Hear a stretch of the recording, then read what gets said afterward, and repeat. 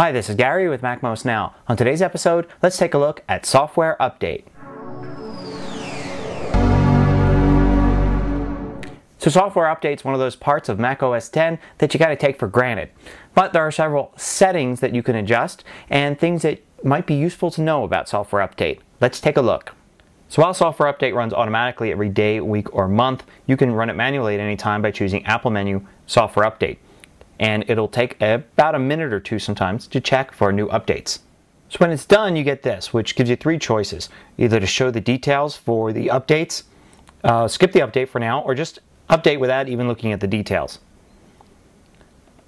Usually you want to click on Show Details and see the complete list. Here we've got three updates that are ready to be installed. You can check or uncheck each one, determine what exactly gets installed right now, and you get information in the middle there about each install. Now notice at the bottom it says that you must restart your computer after the updates are installed. But if I T-select Safari and macOS 10 and just leave iTunes, that goes away. That means iTunes by itself doesn't need a restart. Now another thing I could do here is I could ignore an update.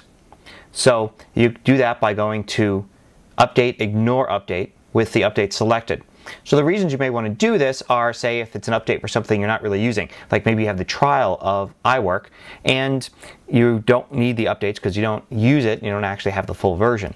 So you would want to maybe skip it completely. And that means that not only will that update skip, but future updates for that software would not appear here in Software Update.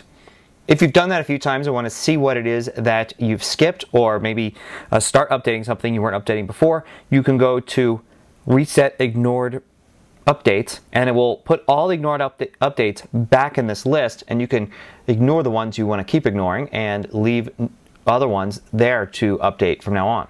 Now if you want to change your preferences, you can do that right here from Software Update. You can also go to the System Preferences and look for the Software Update set.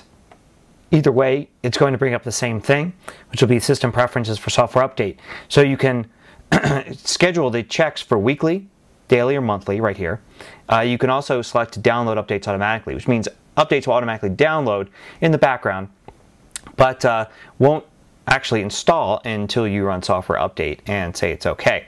Now, one reason you may not want to have that checked, say, on a laptop is if you're on different Wi-Fi connections, say at school or at work or traveling, and you just don't want it to use the bandwidth uh, until you get home.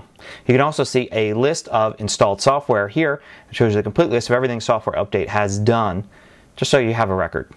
Now, if ever for some reason you want to download something manually and not use software update, there's a way to do that right here inside of software update itself. You can go to the go to Apple Downloads page link and that will launch Safari and take you to the downloads page, which should have all the different downloads that are available in software, software update, at least the major ones, and you can download them manually and install them yourself. Now, this could be very useful if you have more than one Mac in your house and you want to download this once and sort of distribute it to all your computers instead of each one running its own software update.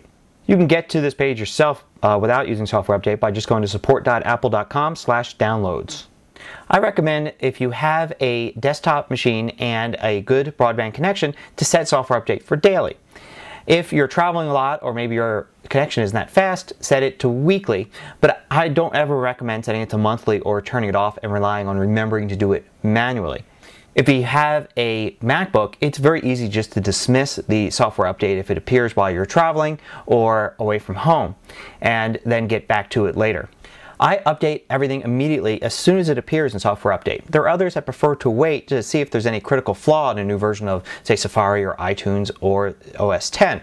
But I don't do that. I find those problems are very rare and only happen to a few machines when they do happen.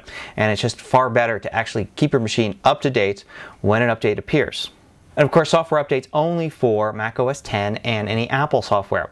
Any third-party software usually has its own update function. Sometimes it's a menu choice, sometimes it happens automatically when you run the program. So make sure not only to keep all of your Apple software up to date, but all your third-party software as well. Hope you like this look at Software Update. Until next time, this is Gary Rosenzweig with MacMost Now.